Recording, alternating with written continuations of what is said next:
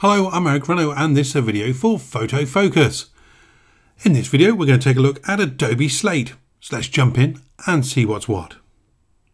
So here I am on the iPad and I'm going to tap Adobe Slate to open it and the first thing that we get is some examples of what we can do. Now this is a great way to explore the app.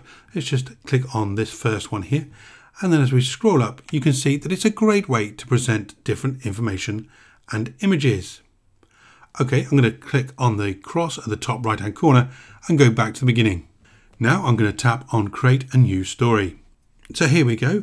Already I'm getting instructions on how to put in my information. I can add a title. So I'm going to do that here. Now my keyboard isn't appearing on the iPad because I'm using a Bluetooth keyboard. I'm also going to fade out and fade back in again so you don't have to watch me type. There we go. That was easy enough. Let's add a subtitle. There we go. Okay, let's tap away from that and straight away a bubble comes up that says photo. I'm going to tap on that to add a photograph and I'm given a choice of where I can upload a photograph from. Now this can be on my iPad or I can take a picture, but I'm going to choose the Creative Cloud. I've got a folder here called Photo Focus and then I'm going to choose this picture of an owl taken by Scott Bourne and used for one of his posts. I'm going to tap Open File and there it is added to the background of my page. Now you notice there's a little target down the bottom right hand corner. If I tap on that it gives me the opportunity to drag and choose a focal point. Now you can see at the top right hand corner what it would look like in portrait mode. So if I move this across you can see how it will affect the portrait mode. I'm going to keep it square between the eyes. Okay, let's click done.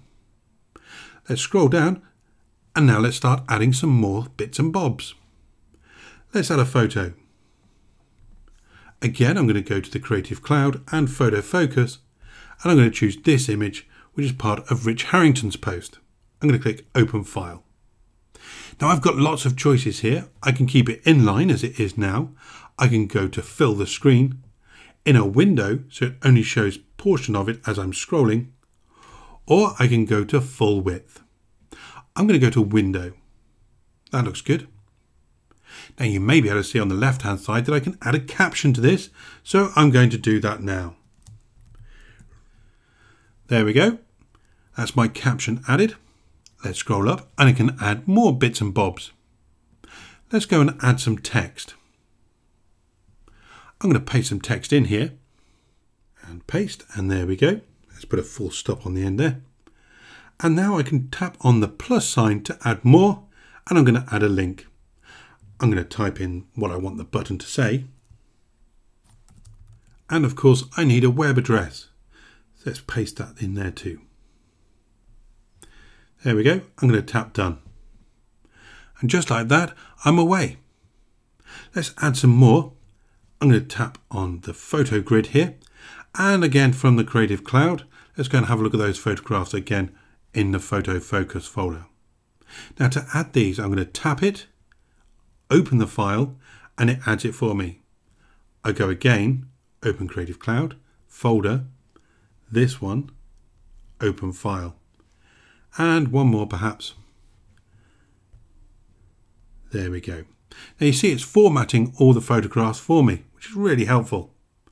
I'm going to tap done. Now that was a bit time consuming and I had to go backwards and forwards, but let me show you something else. I'm going to click on the plus sign here and add another photo grid. I'm going to go back and this time choose Lightroom.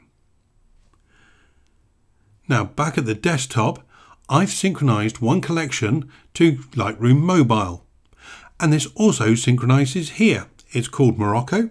And if I tap on that, it opens up the images for me and it's much quicker to be able to tap these images and add them here than it was from the Creative Cloud. You can see it formats it all really nicely for me here as well. I'm going to actually cancel out of that. I don't want those in there. Okay, let's add one more. Let's go to another photo and back to the Creative Cloud because I want to then put in this picture of the Drobo. And let's go for full screen this time and the caption. There we go.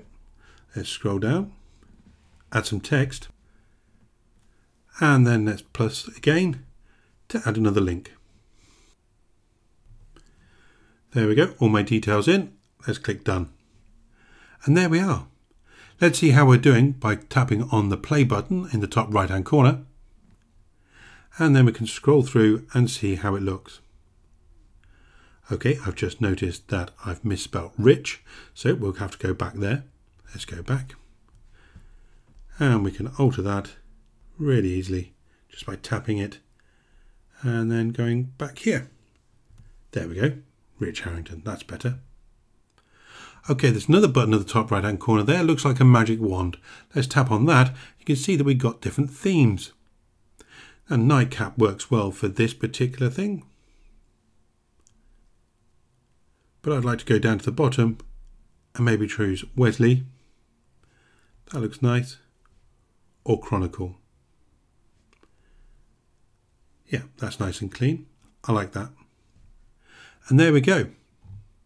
Now I can keep adding to my heart's content, but for now let's call it done. And I'm going to tap on the square with the arrow coming out the top in the top right hand corner.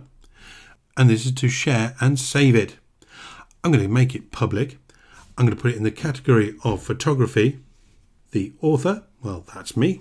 Let's put me in there. There we go. Click done. End credits, I'm not too worried about the end credits here. And we won't share it to any of the social networks just at the moment. And let's tap continue. And it'll upload now to the Slate site. When it does, it'll also give me a link of where it's being stored. And there we go, it's all done. You can see that I've got the address there and I can tap that and it'll open up for me as well in Safari so as I can have a look. There we go. That's good. Now just for a few minutes work, I've managed to put together quite a nice little presentation. Well, that's Adobe Slate. I'm Eric Renno. Thank you very much for joining me here. I'll see you again next time. Bye bye for now.